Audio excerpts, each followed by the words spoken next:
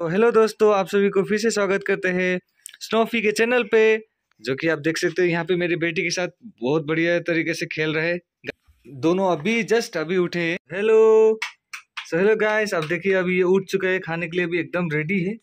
तो ये जो ब्रीड्स है ना स्पिट्स पपी मतलब काफ़ी एक्टिव होता है, काफ़ी एक्टिव रहते हैं ये लोग। तो या तो सोने में उस्ताद रहते हैं, और जब खाना खाने हो या उसको खेलना हो तो बहुत ही एक्टिव रहते। उसका मम्मी जो बनाएँगी ना, उसका कितना एक्टिव रहेगा, उसका रेस्पॉन्स देखना है।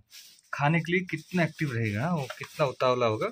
तो आप भी देख सकते हो। तो इसीलिए इसको पप्पी सेरेलक ही खिलाना और दूसरा कुछ भी मत खिलाना। और हाँ दूध तो बिल्कुल देना ही मत क्योंकि दूध प्रॉपरली डाइजेस्ट नहीं कर पाते गैस्ट्रिक फॉर्म होता है।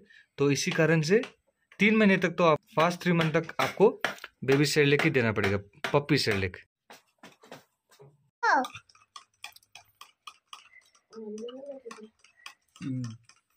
अब देख सकते हैं यहाँ पे हमारे जो कल्चर स्पीड से वो खाने को बढ़िया तरीके से खाने के लिए इंटरेस्टेड होती है, देखिए। अभी मम्मी उनके लिए बना रहे तो देख सकते हैं वो काफ़ी मतलब उत्सुक हो चुका है खाने के लिए। ये देखिए ये देखिए।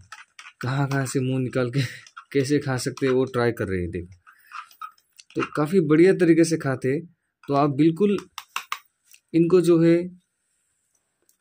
डॉगी सेडलेक्स बोल के आते हैं। वो छोड़ के आप कोई भी चीज़ मत दीजिएगा। देखिए किस तरीके से खा रहे हैं देखिए। कितने बढ़िया तरीके से खाते हैं देखिए। और इसको बिल्कुल जो दूध की थिकनेस है ना उस तरह की थिकनेस देना है आपको। पानी में मिक्स करके उससे ज़्यादा मोटा भी नहीं होना चाहिए और उससे